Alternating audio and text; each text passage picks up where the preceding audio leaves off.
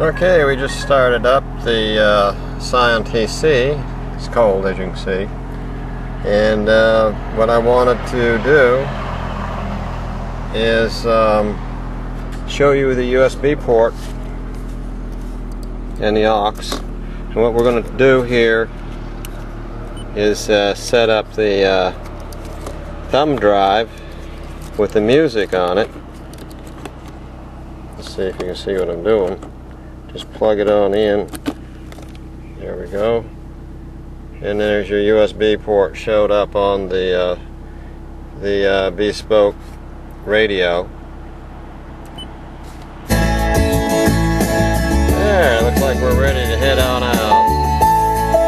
And this is cooler than uh, Scion tC RS 8.0 we're gonna go for a ride.